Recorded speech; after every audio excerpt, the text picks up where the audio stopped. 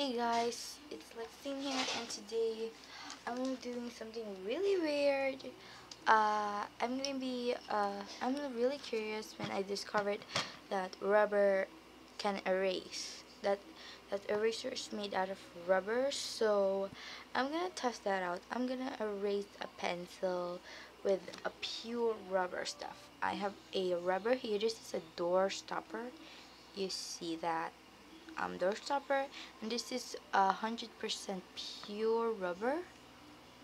Um, I'm gonna testing out if this really can erase um, pencil. So I have pencil. This is pure pencil of course. So this is gonna be a really short video but let's write pink.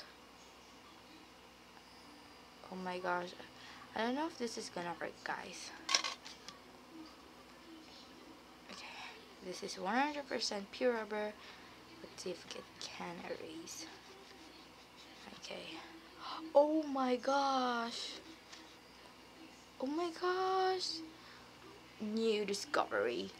That rubber that can erase pencil. Oh my gosh, that's so amazing.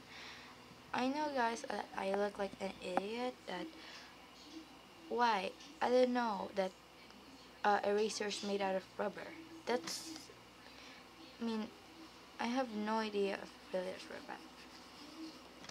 Okay, let's erase with it. This is pure rubber, guys. You just see that. It's a door stopper. Oh my god.